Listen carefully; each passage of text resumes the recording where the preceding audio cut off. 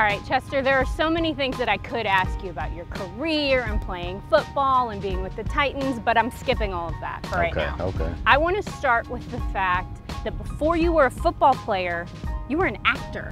Right, correct, correct. Okay, tell me about this and how your acting career started, because you're not from California. No. You're from Alabama. Right, I'm from Huntsville, Alabama. Um, I started, I got into my acting career around 9 or 10 years old. Um, my first movie was Constellation with Billy Dee Williams and Gabrielle Union. Um, I got casted for the role of the young Billy Dee Williams. Um, we shot it in my hometown, actually uh, Huntsville, Alabama. And after my first movie, like all the producers and directors, like they told my mom, you got to get this kid out to LA. So um, I moved out to LA for four years, went to middle school there, landed some big roles, and I just kept, you know, kept doing it. I was having fun. I loved it. Towards the end, uh, I kind of told my mom I just wanted to go back and be a kid again, and I got back into football, and now I'm here. I mean, you've really been in some movies with people that a lot of people would know. Right. You know, names that people have heard. Tyler Perry, Gabrielle Union, like you said. I mean, big names.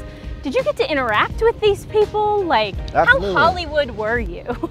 It was, honestly, it became so normal that it didn't feel Hollywood, but you know, I'm I'm doing movies with Cuba Gooding Jr., you know, I, have met Jamie Foxx, Chris Rock, you know, you name them. Like, I was living in an apartment complexes with all these guys. Um, one of the guys that was random, but it was Rick James. Like, we stayed in the same, you know, apartment complex, and I would see him in the grocery store. And you know, but it's so nor it was normal because you know everybody's just regular out there. But yeah, you know, that was the that was the upside of it.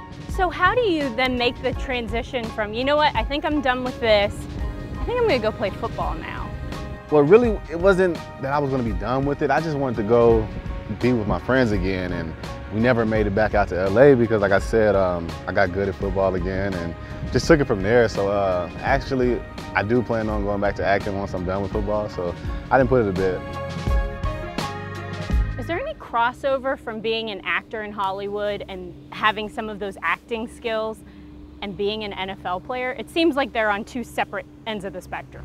Yeah, but um, I kind of I kind of challenge it as the same. You know, uh, when it's time for game time, it's like flipping that switch. You know, just like with acting, when, when the director says action, it's time to go. You flip a switch, you get in the character. So I kind of like it's the same as football. You know, Monday night, I'm gonna flip that switch and it's, I'm, I'm, I'm, gonna be an actor, you know? Feel good, man. Ain't nothing like Monday Night Football, baby. It's gonna be a show tonight. Just tune in. Being here with the Tennessee Titans, we've seen you kind of grow into a role and be more of a contributor. You're on the field a lot more.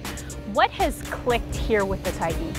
It's genuine, you know, uh, the, from all the way up to uh, the GM and down to the training staff. Uh, everybody embraces me. I feel wanted. And, you know, it's just a great situation. I just feel like I'm in the right place at the right time, and I'm just taking advantage of it. Being a part of this team as it's grown throughout the season, how proud are you to have been a part of that growth? Oh man, it's, it's, it's a blessing, man. I'm, I'm super excited to be a part of it because it's a great group of guys, and we all have a you know a common goal, you know, at the end of the season what we're striving for. So, like I said, I'm embracing it and I enjoy it.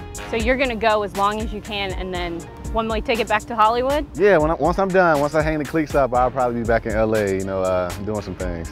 What is your dream role?